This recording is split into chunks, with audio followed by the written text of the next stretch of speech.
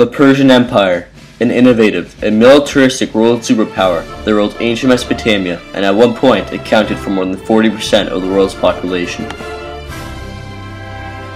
The Greeks, a loose alliance of city-states that dominated the Mediterranean and whose progressive political, philosophical, and social advances lay the base for Western civilization today. These two ancient superpowers came together in a 50-year conflict known as the Greco-Persian Wars, a devastating confrontation that was sparked in the year 499 BC with an event known as the Ionian Revolt. The year is 518 BC, and after the initial conquering of Lydia by the Persian king Cyrus in 547 BC, nearly the entire western Mediterranean coast of Asia Minor is ruled by the Persians and their king, Darius. This conquered area includes Ionian Greece, a situation of city-states on and just off of Asia Minor's Mediterranean coast. This area was settled by Greeks in approximately 1000 BC after the Dorian immigration from the north, an event which pushed the ancestors of Ionian Greeks across the Aegean Sea.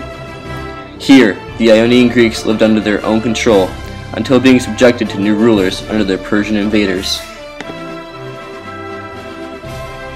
To ensure some loyalty from their Greek subjects, the Persians appointed Greek-born but Persian-sympathizing tyrants for every city-state, known as satraps.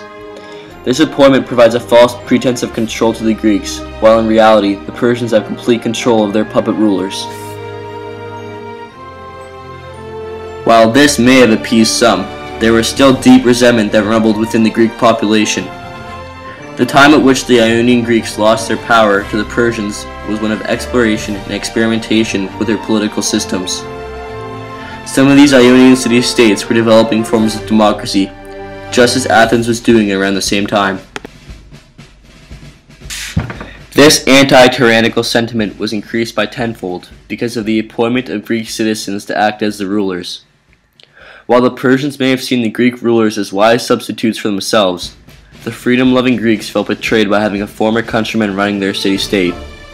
No doubt the Ionian Greeks recognized these tyrants as the Persians in disguise, and would have looked upon their once fellow Greeks as treasonous. Another cause, suggested by historians such as Herodotus, states that the Ionians resented the Persians due to economic reasons. In the late 6th century to early 5th century BC, the Mediterranean Sea was an area of abundant trade. The Ionians were extremely successful in trade at this time, a success that would have been increased under the powerful connections of an empire such as Persia. However, the Persians demanded large sums of taxes at this time, an amount seen by the Ionians as unfair compared to other regions of Persia's empire. The resentment caused by the restriction of wealth of these Ionian city-states is also a contributing factor to the eagerness with which the Ionians responded to the call to revolt. One major criticism of the validity of the known history of the Greco-Persian Wars is its source. The only known documentation of the Ionian Revolt and Wars are from Herodotus, an ancient historian attributed with the invention of history. The significance of this is that Herodotus was Greek, leading many to believe that Herodotus gave a biased account of the war that portrays the Persians poorly and falsely. As documented by Herodotus, the spark that ignited the revolt occurred in the year 499 BC, with the Ionians still under the control of King Darius and the Persians. At this time, the Persians were strong enough to march further west into mainland Greece, a step that must first be taken into the Aegean Sea. Resting immediately in between Asia Minor and Greece are the Cyclades, a group of islands, the most prosperous of those being the city-state of Naxos. In comes Aristagoras, the noble, rich, Greek-born but Persian-appointed tyrant of Miletus, the most prosperous of the Ionian city-states. After being persuaded by a group of rich Naxians who had been exiled and desperate to go home, and also recognizing Naxos as a potential addition to his control, Aristagoras set his sights on capturing Naxos. Understanding that Miletus alone would not have enough power to capture Naxos, Aristagoras appealed to Artaphernes, the governor of Lydia. Artaphernes then went to his cousin, King Darius, to ask for reinforcements to capture Naxos. What Aristagoras was granted was 200 warships, as well as a large army under the command of the king's brother, Megabates. With an ample amount of ships and a large army under the Persian commander Megabates, the Persians and Ionians sailed to Naxos and laid siege. Intertwined with the constant power struggle between Megabates and Aristagoras, and having to contend with a well-prepared Naxos, after four months, the siege was declared a loss, and the Persians and Ionians sailed home.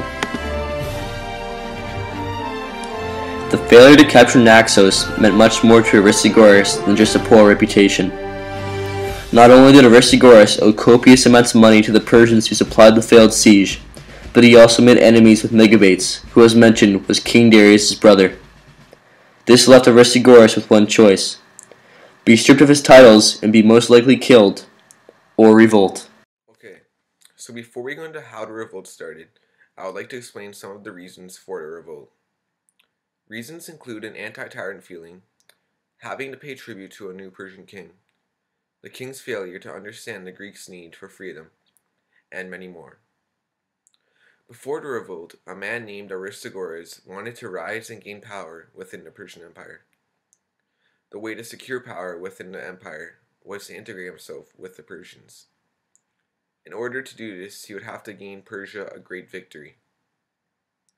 So Aristagoras persuaded the Persians to attempt to take the island city-state of Naxos. Unfortunately for Aristagoras, the expedition failed and the Persians blamed this loss on him. Aristagoras also owed a lot of money to the Persians to make things a lot worse. To protect himself, Aristagoras had to persuade the people of Miletus to rebel in the name of Greek liberty. The citizens of Miletus, already resistant to Persian rule, supported Aristagoras. The rebels killed the local Persian garrison and freed the city. Of course, Miletus could not stand up against the Persian Empire alone. They needed help. After the Ionians' failed attempt of a revolt, the Persians had to put new measures into place.